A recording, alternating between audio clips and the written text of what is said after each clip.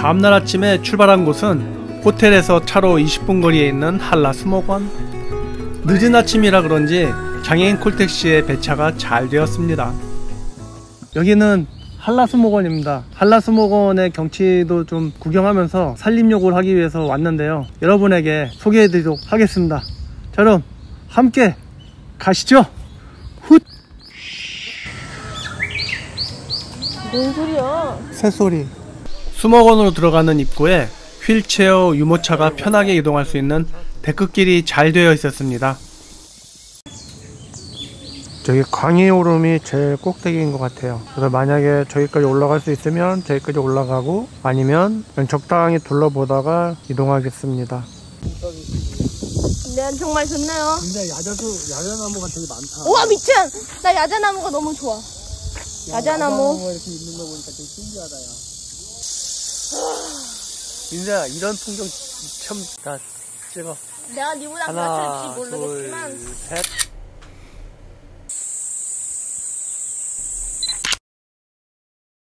이야, 수미 씨. 거기, 거기 딱 있어. 거기 딱 있어. 이거는 진짜 사진을 담아야 될 수밖에 없는 그런 장면이야. 하나, 둘.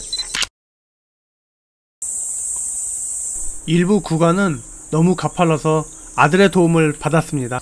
야, 수생식물원답게 그죠, 여긴 물이 좀 있어. 잠자리가 제법 크다. 여기. 어, 저기, 거북이. 어 논다 논다 거북이 놀고 있다 거북이 완전 놀고 있네 꽃이 완전 귀여운데 예쁘긴 하다 새들이 물놀이를 하고 있네요 이게 노란색 무궁화라고? 나도 가만히 있어봐. 정말 예뻐요 식물원의 약간 높은 곳에서 바라본 시내 풍경입니다 가족과 함께 기념사진을 찍으며 한라식물원에서의 즐거웠던 시간을 마무리했습니다 고맙습니다. 출발.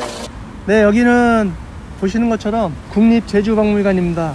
많은 제주 여행에 관련된 그런 것들을 좀 봤는데요. 제주 박물관에 관련된 소개 영상이 없더라고요. 그리고 제주도를 좀 자세하게 알려면 아무래도 이런 박물관을 방문해서 좀 살펴봐야 제주도를 좀 더 정확하게 알 수 있을 것 같아서 이 장소를 선택을 했습니다. 함께 가시죠.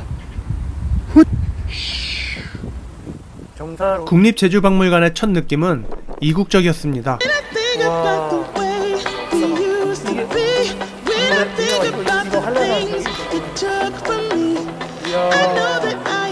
사슴하고 누구의 뼈가 발견될 때 아, 얘는. 오대 근데 정말 메머드가 살았을까? 살았겠지? 아 그리고 제주도가 반도 끝이었대 엄마는 섬이 나중에 된 건지 몰랐네 근데 전복 껍질도 저렇게 화살촉을 만들어놨다는 게 신기하고 저거 되게 예쁘다 그지? 되게 날카롭고 근데 예뻐 또 거기다가 심지어 아, 삼양동 마을 사람들의 모습. 우와. 이야, 미니어처로 잘 꾸몄네요. 제주의 역사와 문화유산을 체계적으로 전시, 보존하는 역사박물관인데요. 선사시대부터 고려시대, 조선시대, 제주도의 발전과 변화, 제주 사람들의 삶 등을 알 수 있는 뜻깊은 시간이었습니다. 뜻밖의 얻은 그런 정보들을 적은 책인데요. 표류하다가 생을 마감하는 경우가 있는데 운이 좋아서 돌아오게 된 사람들이 이렇게 책을 만들었다고 합니다. 해녀 책 만들기? 이야, 예술입니다. 자, 자, 자, 자, 자, 하나, 하나, 하나. 민서, 민서, 민서, 민서, 민서, 물고, 이거 한번, 그렇지, 그렇지. 하나, 오. 둘, 셋.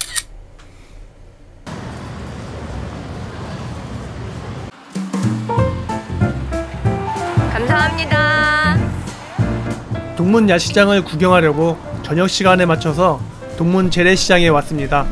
처음 시장에 도착했을 때는 일반적인 재래시장과 다를 게 없었는데요. 시장을 가로질러서 조금 안쪽으로 들어가니 저녁 시간에 야시장이 열려서 그런지 갑자기 사람들이 많아졌습니다. 동문 재래 야시장의 영업시간은 오후 6시부터입니다. 야시장에 젊은 상인이 많아서인지 시장은 매우 활기 넘쳤습니다. 그래서인지 그 분위기에 그냥 기분이 좋아지더군요. 대부분의 음식이 맛있어 보여서 이것저것 많이 사 먹었습니다. 만약 제주시 여행을 한다면 필수 코스로 동문 야시장을 꼭 넣으라고 말하고 싶을 정도네요. 자연사 박물관 입장. 제주 여행 마지막 날 아침 제주 자연사 박물관에 갔는데요. 매표소 입구부터 박물관 주변에 다양한 모양의 현무암이 전시되어 있는 것을 볼 수 있었습니다. 네, 이곳은 민속 자연사 박물관입니다. 이곳에서 제주도 자연에 대한 이야기를 볼 수 있는 곳이라고 합니다. 그 어떤 흥미로운 이야기들이 있을지 기대가 되는데요. 함께 가시죠. 훗!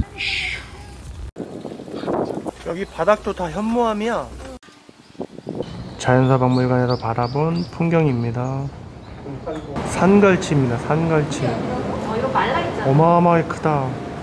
로비에 대형 어류 및 해양생물 디오라마 전시를 비롯해서 제주도 형성사, 여러 가지 암석, 한라산의 식물 수직 분포도, 곤충, 포유류 등 제주의 형성 과정과 여러 자연 생태까지도 한눈에 볼 수 있었으며 과거 제주인의 일생, 생업, 의식주 등의 생활을 접할 수 있었습니다. 제주도 민속 자연사박물관은 제주도 고유의 민속 자료와 동물, 광물, 식물, 해양 생물 자료들을 전시하고 있어서 제주 문화를 보다 쉽게 이해할 수 있었습니다. 이거는 먹돌이라고 하는데 현무암 자갈이라고 합니다.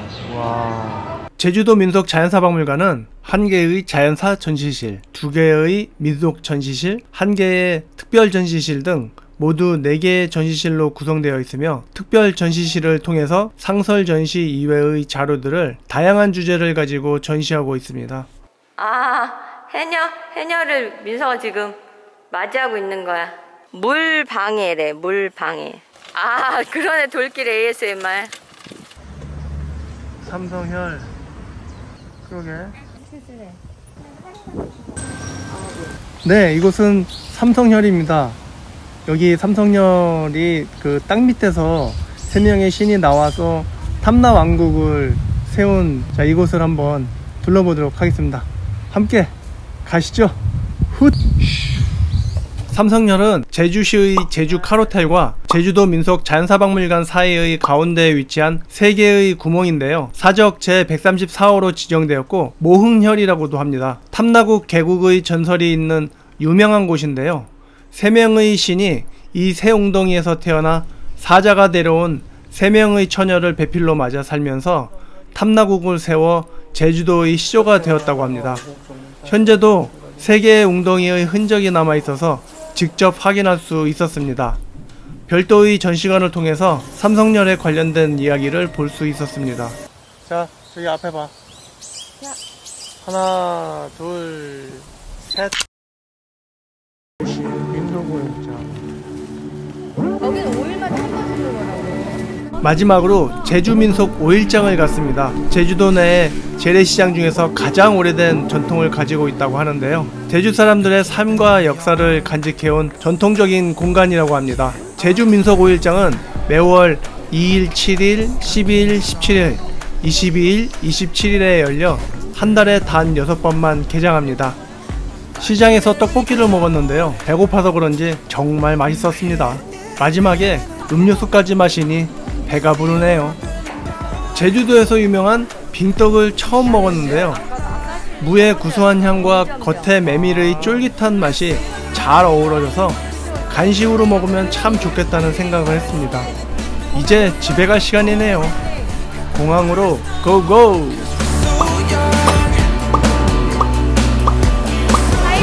2박 3일 동안 그냥 돌아다니면서 볼거리 위주로 갔는데요. 다음에는 먹는 것들도 많이 찍도록 하겠습니다. 그럼 다음 영상에서 뵙겠습니다. 안녕!